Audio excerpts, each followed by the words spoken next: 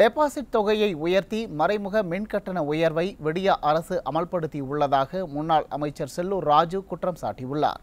மதுரை மாவட்டம் கோவில் பாப்பாக்குடியில் இரு தனியார் நிறுவனங்கள் இணைந்து நடத்தும் இலவச கண் சிகிச்சை முகாமினை கழக அமைப்பு செயலாளரும் முன்னாள் அமைச்சருமான செல்லூர் கே. ராஜு தொடங்கி வைத்தார்.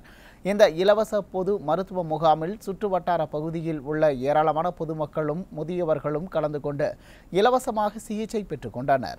இந்நிகழ்வில் முன்னாள் சட்டமன்ற உறுப்பினர் அண்ணாதுரை மதுரை மாநகர் மாவட்ட நிர்வாகிகளான எம். எஸ். பாண்டியன் சோலை ரவி உள்ளிட்ட ஏராளமான நிர்வாகிகள் கலந்து கொண்டனர்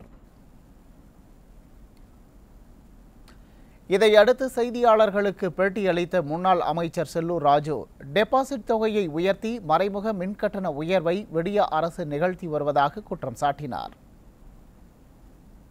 மறைமுகமாக என்னன்னா இந்த நுகர்வோருக்கு மக்களுக்கு என்னன்னா மின் கட்டணத்தை உயர்த்தலே ஒழிய அவங்க அவங்க பயன்படுத்துகிற மின்சார கட்டணத்துடைய ஒட்டுமொத்தத்தை வந்து எடு கணக்கெடுத்து வருஷா வருஷம் டெபாசிட் தொகையை மூணு மாதத்துக்குள்ள ஒரு தடவை கூட்டி கட்ட கட்ட அதிகப்படுத்தி கட்ட சொல்கிறாங்க இது மறைமுகமாக உயர்வு. மக்களை வாட்டி வைத்து கொண்டிருக்கிறது. தமிழகத்தில் கள்ளச்சாராயமே இல்லை என அமைச்சர் ஐ. பெரியசாமி கூறியதற்கு அவர் எந்த மாநிலத்தில் உள்ளார் என முன்னாள் அமைச்சர் செல்லூர் ராஜு கேள்வி எழுப்பியுள்ளார். அவர் எந்த மாநிலத்தில் இருக்காருன்னு தெரியல. தமிழ்நாட சொல்கிறாரா வேறு மாநிலத்தை சொல்கிறாரான்னு தெரியல. அவர் சொல்லியிருக்க இந்த இந்த மாநிலத்தில் தானே கள்ளச்சாராயத்தில் செத்துருக்காங்க. இது கலர்ச்சாராயம் இந்த ஆஸ்மாக்கில் விற்கிதுன்னு சொல்கிறாங்க அதை காட்டிலும் கொடுமை.